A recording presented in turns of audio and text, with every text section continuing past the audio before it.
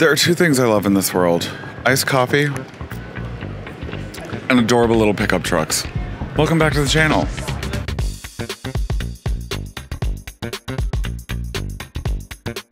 Welcome back to Sparkplug TV. My name is Chris and I do car reviews for literally everybody, not just car enthusiasts.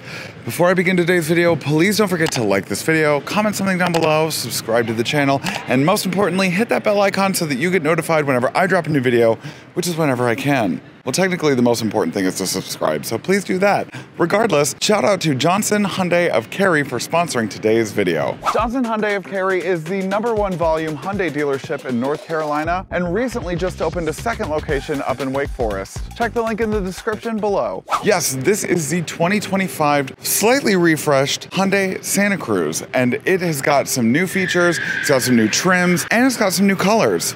Let's talk about it. Hyundai's got a new XRT all-terrain capable trim level that they've been using for their Santa Fe models and other Hyundai models. Now, this is the Canyon Red color in the XRT trim level, and it is a gorgeous red color more so a burnt orange, but that's okay. I'm not a product planner. Regardless, it still has that crazy front fascia design. It's just a little bit more squared off um, and it's a little bit more cleaned up. And I really like the way that it looks.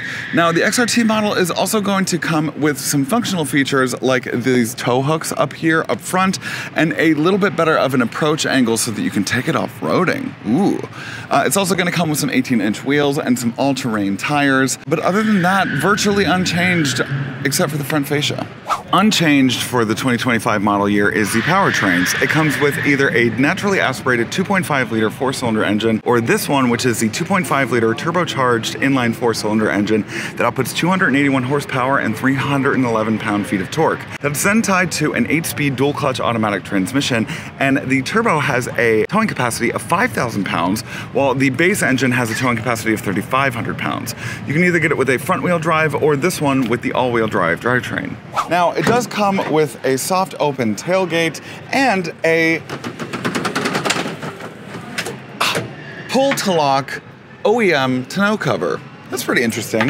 You can also click it and it will go forward and kind of like a Honda Ridgeline, it also has this little trunk compartment for your groceries, or in case it rains, unless the tonneau cover isn't good enough for you. Anyways, let's go inside. The most amount of changes for the Hyundai Santa Cruz are gonna come from the interior itself. It is definitely the most improved, the most upgraded, and it follows the same kind of design language motif that you can find in the Tucson, the new Sonata, the new Santa Fe, etc. That new motif being these two 12 inch informational digital readouts from the gauge cluster to the infotainment system. Now, the infotainment system, of course, is going to come with Apple CarPlay and Android Auto, and then you're going to have a uh, 360 degree camera, a surround view camera, excuse me.